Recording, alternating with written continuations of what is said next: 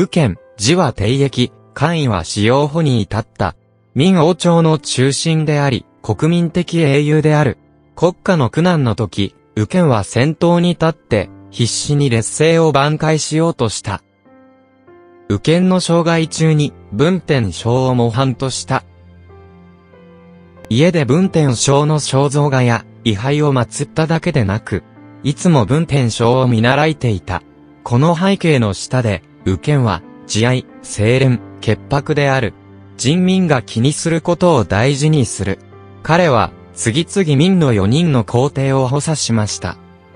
永楽帝の主帝でさえ、右権の才能は次のように述べていました。右権がいることで、私の王朝は幸運だった。漢王の主公国の反乱を鎮圧するために、右権は民王朝の文官としても戦徳帝と一緒に、正当した。漢王の反乱を鎮圧することによって、彼は功績を立ち上がった。河南使用、賛成使用などの準部に任命された。政党帝が行為を継承した後、右権の官とは不遇になりました。政党帝は宦官を変身する人だった。それは民王朝の宦官乱世の前例を開いた。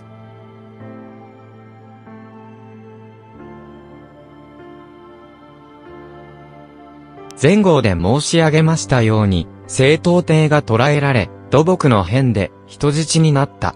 幸いなことに、右権は国難に向かって使命感を持って、北京の兵士と民間人を率いて、北京を守るために、北京保衛戦を始めました。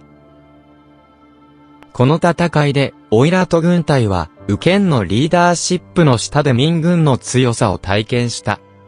数十万オイラトの軍隊は、ほぼ一ヶ月かかっても、北京に侵入することができませんでした。数えきれないほどの死傷者の後、オイラト軍は災害へ撤退しなければなりませんでした。右権はオイラトを破った後、ケイテイテイと手を組み、政治、経済、軍事などの面で、是正、改革を行い、当時の民大社会は、次第に混乱から立ち直りました。民大の国力は、ますます強くなり、市場で、携帯、生成と呼ばれていました。主義欲は皇帝になり、主権心は大使になるという右権の提案は、国難中で最年長君主を設立するという現実の需要と符合するだけでなく、選徳定系の子孫の利益を最大限に保障し、行為は冒険に陥ることはなく、意外なことに、当時、オイラとの捕虜となった政党帝は、そのことで右権に恨みを抱く。彼の行為を奪取するために、右権が、携帯帝と共謀したと信じて、最終的に、右権の殺害につながった。この戦役で、右権は、民の携帯帝時期で最も重要な補佐大臣になりました。政党帝時期に、宦官への誤信を是正しながら、同時に、政党帝の利益を侵害したと考えられます。彼の悲惨な結局が、それゆえに決まった。土木の変はまた、西欧の主義義欲の人生を変えた。彼はもともと行為とは無縁だった。自分自身も皇帝になりたくない。しかし、土木の変により、彼が、携帯帝として、擁立、設立されました。彼の即位後、右権などの忠義で正直に仕える大臣を徴用し、国と国民に災いをもたらした、宦官王神の党派を罰し、朝廷と民間を興奮させた。しかし、彼が皇帝として、時間が長ければ長いほど、彼の貪欲は大きくなります。オイラトに釈放された兄の政党帝を、難宮に軟禁していた。兄の行為腹壁を防ぐために、誰も、難宮へ接近できず、彼の腹心だけで、難宮で守備ができます。そして、彼は政党帝の息子である大使の主権心を廃し、彼自身の息子を大使にしました。携帯帝は兄の政党帝に対する残酷さは政党帝を携帯帝と彼を支持した孫たちへの憎しみに満たせた。彼の心に恨みの種が芽生えました。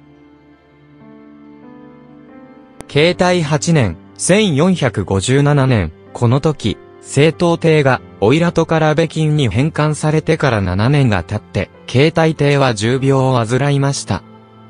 同年正月16日の夕方、当時の無成功の石膏を、福と魚子の女優帝、宦官の総吉将は、その機会を利用して南宮に潜り込み、政党帝を救出しました。当夜、政党帝が、石膏や女優帝などに擁立されて、重訴した。市場で脱門の変と呼ばれる。資金上でのこの政治的闘争は流血されていませんが、その激しさは、当時代の理性民によって発生した現部門の変に劣りません。政党帝は伏壁し、年号天順を変更した。政党帝である、主吉鎮と彼の腹心たちが、脱門の変を起こした同時に、右賢は、それら共謀者たちの手がかりを見つけた。当時、彼の名声と意向は非常に高かった軍政を掌握していた。彼が欲しくなら、その乱を撲滅することは簡単でしょう。しかし、このようにして、政党帝が反逆で罪人となり、死罪の判決や諸人に落とされるかもしれない。そして、主権心を含む、政党帝のすべての子孫は、罪人の息子にもなります。選徳帝系の子孫が、王位を継承する権利を永久に失います。その頃、携帯帝は瀕死に至って、もし他の藩王を迎えるなら、必然的に国家混乱が起こります。国家安定や昔選徳帝に恩を返すために、右賢はついに自分を犠牲にして何もしないことを決めました。天順帝が権力を握るとすぐに、携帯帝を廃位し、西欧に格下げしました。翌日、天順帝は、脱門の変で功績のある大臣に封賞した。女優帝は内閣に加わる。石公を兵部省所に入らせて、中国公になり、長月は太平公になって、総吉省は司令官多官になりました。かつて、右賢の部下であった石公は、右賢によって将軍に昇進した。首都の防衛戦で功績を立ち上がったが、彼はしばしば大民王朝の法律を無視し、多くの不正を行いました。以前、右賢が彼を弾劾したことあったから、石公は、心の底から右賢を恨んでいた。女優帝が首都に包囲された時、セントのことを提案しましたが、彼は携帯艇に罷免された。彼は、右賢に託し、携帯艇に陳情したが、復職ができなくて、彼は、心から、右賢をひどく憎んでいた。携帯艇は、右賢に対する100%の信頼はまた、一部の、帝心が右賢に対する嫉妬に満ちていた。就任後、女優帝はすぐに右賢と、追う分を逮捕しました。右賢がいると、彼たちの栄光と富を享受するための最大の障害だったからです。右賢が生きている限り、彼らの陰謀は遅かれ早かれ世間に明らかになるでしょう。つまり、女優帝などが右賢を殺したのであり、天順帝は共犯者です。天順帝が成功伏壁したので、携帯帝の旧チームを追放する必要があります。もちろん、携帯艇の最も重要な大臣である、右賢が、追放される運命から逃れることは無理です。天順帝は、右賢が大変国に貢献したことを知っていた。彼を殺すつもりはなかった。正直なところ、天順帝は、良い皇帝ではありませんが、彼は、良い人です。彼は、右賢の命を狙っておらず、右賢に再び会いたくないだけです。しかし、まだ女優帝と、石膏二人がいます。彼らの目に、右賢は死ななければなりません。政治的闘争は常に険悪であり、右賢は明らかにこの点で彼らの相手ではありませんでした。女優帝は正当帝に右賢を殺さなければ、腹壁の正当性はないだろうと語った。行為と中心の間で、天順帝は前者を選びました。彼自身の行為と大民の安定のために、彼は、右剣を犠牲にすることしかできません。それで、脱門の変からわずか5日で、土木の変で、旧国の更新であった右剣が反逆罪のわけで死刑が判決された。彼の家族が巻き込まれ、家族全員が流刑に処された。天順元年、1457年に、右剣は反逆罪に問われました。彼が、死の日、空全体が、どんよりと曇って、暗い雲に覆われました。人々は右剣が死刑になったと聞いたとき、彼らは皆、右剣が無実の罪を着せられたと言い、不平だった。右剣の処刑は非常に残酷でした。